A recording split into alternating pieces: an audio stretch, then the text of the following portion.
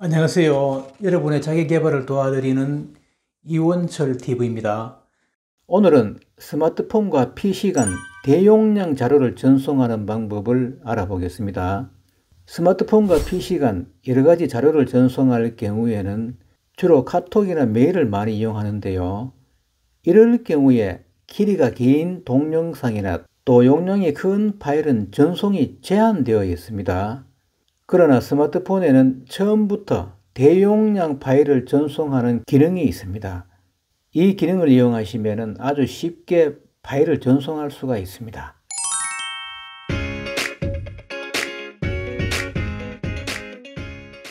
퀵세어에 대해서는 제가 몇 년 전에 이 채널에 영상으로 소개해 드린 적이 있습니다.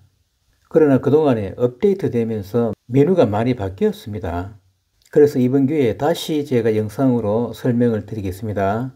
저는 오늘 삼성 갤럭시 폰을 기준으로 설명을 드립니다. 퀵쉐어가 뭐냐 하면요. 삼성 갤럭시 폰 자체에 있는 대용량 파일 공유 기능을 말합니다. 이 기능은 최대 3GB까지 보낼 수 있는데요. 하루에 총 5GB까지 대용량 파일을 보낼 수가 있습니다. 아이폰의 에어드랍과 비슷한 그런 기능입니다. 또 별도의 앱 설치 필요 없이요. URL로 바로 공유가 가능하기 때문에 인터넷만 되면은 세계 어디든 아주 자유롭게 대용량 파일을 전송할 수 있습니다. 굉장히 편리한 기능입니다.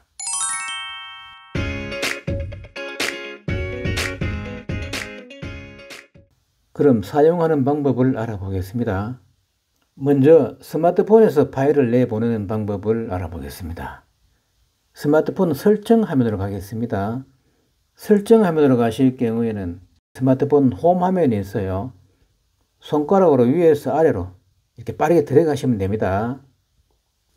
이렇게요. 이렇게 하셔서 한 번 더 들어가시기 바랍니다. 예, 이렇게 하면은 빠른 설정 목록 화면이 나왔습니다. 여기서 먼저 퀵쉐어 아이콘을 활성화 시켜 주셔야 됩니다. 저는 이 부분입니다. 퀵쉐어 아이콘이 있습니다. 만약에 여기서 안 보이면요. 화면을 왼쪽으로 이렇게 옮겨 주시면은 있습니다. 저는 이 부분을 터치해서요. 활성화하겠습니다. 터치하겠습니다. 이렇게 터치하면은 공유 허용 대상이 나옵니다. 여기 보시면 기본적으로 받지 않음이 되어 있습니다. 이 말은 뭐냐 하면은 다른 사람이 퀵쉐어로 파일을 공유할 때에 나는 받지 않는다 이 말입니다. 그리고 아래 보시면은 지정된 연락처만 이렇게 나옵니다. 이 부분은 뭐냐면은 상대방과 자신의 연락처에 삼성 계정으로 된 연락처만 받겠다 이 말입니다. 그리고 아래 보시면 모든 사람이 있습니다. 이렇게 해놓으면은 상대방이 누구든지 간에 자신에게 보내는 모든 공유를 다 받겠다 이 말입니다. 저는 이 상태로 하겠습니다. 이렇게 하신 다음에 아래에 완료를 터치하시기 바랍니다. 이렇게 하면은 자신의 스마트폰에요. 퀵쉐어 기능이 지금부터 작동합니다. 이렇게 설정을 마쳤으면요. 그럼 지금부터는 자신의 이 스마트폰에 있는 자료를 공유해 보겠습니다. 상대방에게 보내보겠습니다. 저는 갤러리에서 사진을 한 장 보내보도록 하겠습니다. 갤러리를 실행하겠습니다. 이렇게 해서요. 저는 이 장미 사진을 한 장 보내보겠습니다. 터치하겠습니다. 이렇게 하시고요. 아래에 있는 공유를 터치하시기 바랍니다. 이 부분입니다. 이렇게 하시면요. 공유 화면이 나왔는데요.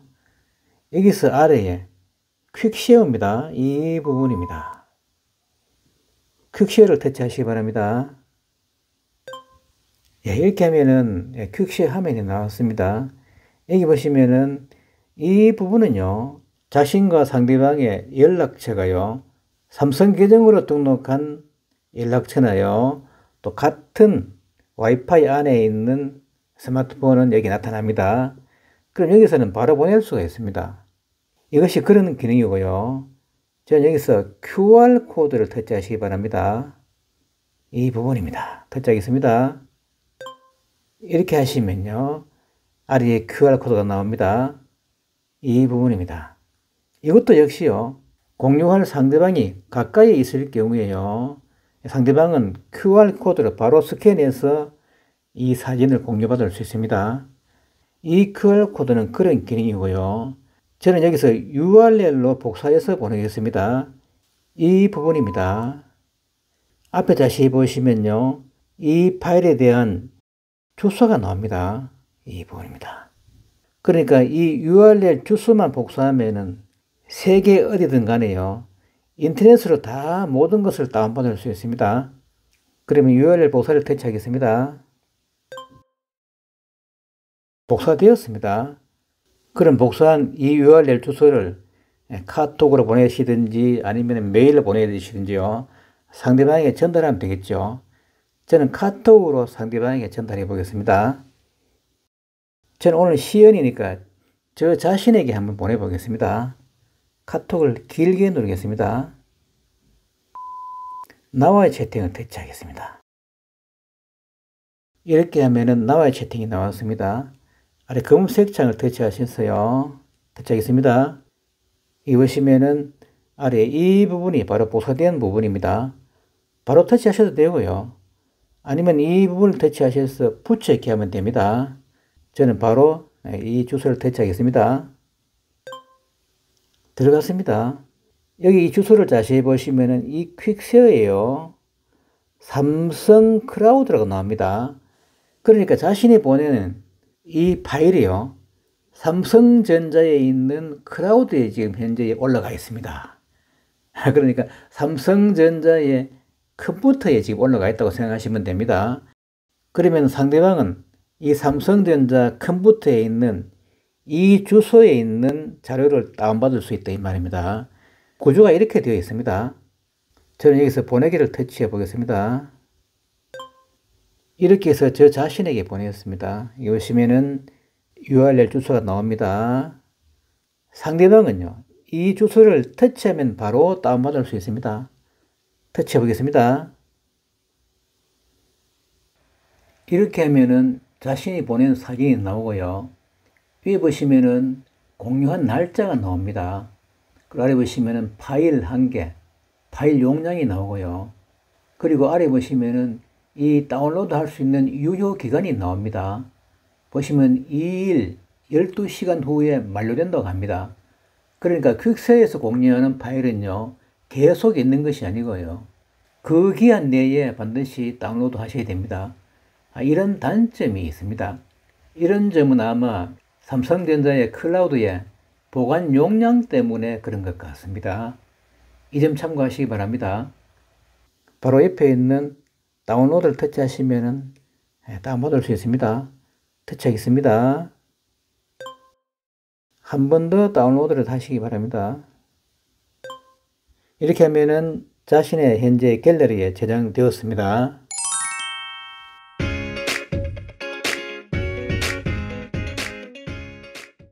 그럼 이번에는 PC에서 공유하는 방법을 알아보겠습니다. PC에서는 퀵쉐어를 마이크로소프트 스토어에서 설치하시면 됩니다. 예, 우선 PC 화면에서요. 왼쪽 아래 찾기를 클릭하시기 바랍니다. 이렇게 하셨어요. 마이크로소프트 스토어를 입력하시든지 아니면 영어로 M만 쳐도 바로 이렇게 나옵니다. M 이렇게요. 이렇게 하니까 위에 보시면은 예, 마이크로소프트 스토어 시스템 나오죠. 이 부분에서 퀵쉐어를 다운받을 수 있습니다. 클릭하겠습니다. 예, 이렇게 하니까 마이크로소프트 스토어 첫 화면이 나왔습니다. 위에 검색창이요. 아, 여기서 삼성 퀵쉐어라고 입력하시든지 영어로 Quick만 입력하셔도 됩니다. 예, 저는 영어로 그냥 퀵만 할게요. 이렇게 하시고요. 돋보기를 클릭하시면 바로 나옵니다. 이렇게 하니까 퀵세어가 나왔습니다. 저는 이미 설치했기 때문에 열기가 나오는데요. 여러분은 이 부분을 설치를 클릭하시면 금방 설치할 수가 있습니다. 과거에는 이 퀵쉐어가 스마트폰용 밖에 나오지 않았는데요. PC용으로 나온 지도 얼마 되지 않았습니다. 이렇게 PC용으로 퀵쉐어가 나왔어요. 굉장히 편리하게 되었습니다. 우선 여기서 열기를 해보겠습니다. 클릭하겠습니다. 아래 계속을 클릭하시면 됩니다. 이렇게 하셨어요. 예, 아래 보시면은 링크 만들기가 있습니다. 이 부분을 클릭하시면은 자신의 PC에 있는 여러 가지 자료를 보낼 수가 있습니다. 링크 만들기를 클릭하겠습니다. 이렇게 하셨어요. 보낼 자료를 찾으시면 되겠죠. 저는 저희 PC에 있는 사진을 한번 보내보겠습니다.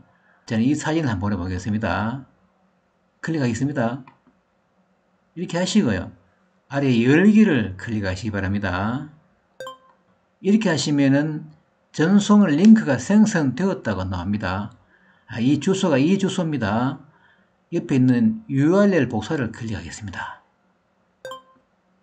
이제 복사되었습니다.